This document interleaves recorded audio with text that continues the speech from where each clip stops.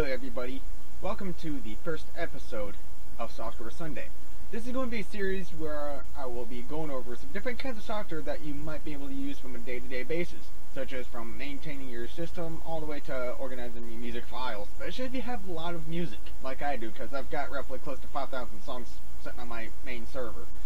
So anyway, um, this is going to be a software thorough review going over a software called MusicBrainz Picard. And as I mentioned about organizing your music library, well, this software actually do that automatically. And it'll even fix all the tagging, analyze the uh, sound waves of the songs to actually get the information needed if it's not there. So anyway, let's go ahead and hop on over to the main website. Alright, so here we are at the main website, which is picard.musicbrainz.org. So let's go ahead and click on download, which it'll have Windows. It seems I already got downloaded. Now, if you're using Mac, they're covered. Use them Linux, you're covered. And if you're wanting the source code, covered. So let's go ahead. Alright, so here we are with the main user interface. So the first thing we want to do is go through the different options that they have. Let me go ahead and expand this.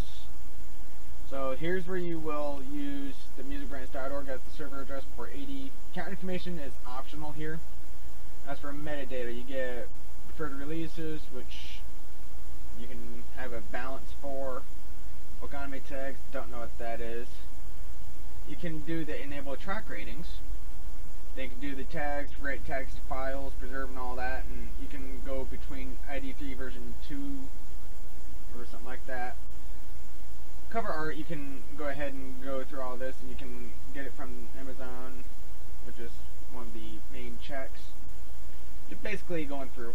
Now here is where I have my settings. So when you are renaming everything, you want to have all these checked. Now if you want to move everything to the directory, directory while saving, so just click on browse, go to the drive you want, for this, it will be going to the sorted, which I want to make sure I have set when I go to save music. And delete any of the empty directories. I would recommend keep clutter down. And then I have artist, date, album, artist, and title, which is something I would recommend using. You just gotta click on it, type it, all you need in. The fingerprinting, which is through AcoustID, this is where you will get the names for the songs that are not currently present. As for CD lookup, uh, that's all up to you. They have a different variety of plugins, including Replay Gain, Last.fm, so on and so forth. Going into advanced, you got network, leave that blank. Matching, you can set minimal for file lookup 70, cluster lookups 80, matching values to tracks 40. Then for scripting, this is what I have said. It was uh, actually on a tutorial on how to do this. Then user interface, you can basically leave all that, but um, yeah, you want to make sure you have the the uh, scripting set, the file naming, all these checked in, and the fingerprinting I would recommend using. That is a hands down useful feature, as you will see here shortly. So let's go ahead and add folder go back, go to unsorted, select folder, and it's going to do this automatically.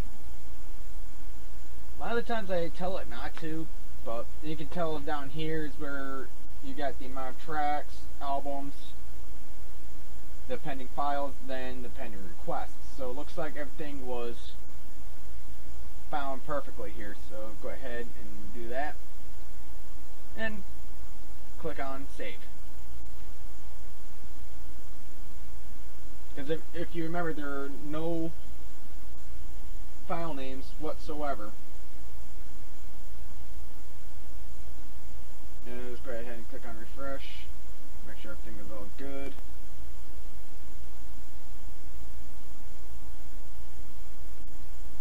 So it looks like we got a couple of different albums. So let's go ahead and info. Refresh. Gotta do this a couple of times so you can get the needed. So let's go ahead. I mean, you gotta do this a couple of times, obviously. So everything's all good. So let's go ahead and go into the folder that they are in. So I can show you that it actually worked. Just gotta go into the right folder here. Here's brings card, sorted. And there we go. It shows all the music that's needed and organized pretty neatly. You got the Electric Light Orchestra, you got the different songs. So in this is pretty customizable, so if you want to skip the years, you could probably take that out from the uh, scripting from the tagging and all. But anyway, this is a rough overview of the software called MusicBrainz Picard. And this is a software I highly recommend. So if you have any questions about the software, feel free to drop a comment and I'll be more than happy to give you guys a hand. Again, I highly recommend this software for those people that are music freaks and want to have their music set the way they want to. So in case it's recommended to have. So anyway, don't forget to like the video if you liked it, dislike it if you disliked the video, and don't forget to subscribe for future videos.